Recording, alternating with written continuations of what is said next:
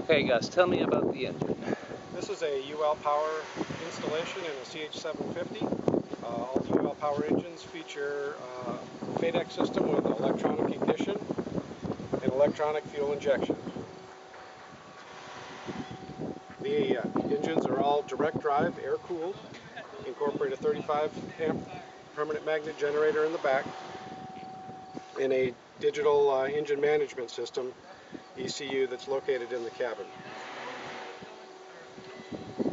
Engine uh, power ranges from 97 to 130 horsepower, and they're very lightweight, 159 to 172 pounds. That's the necessitates the longer engine mount for proper weight and balance.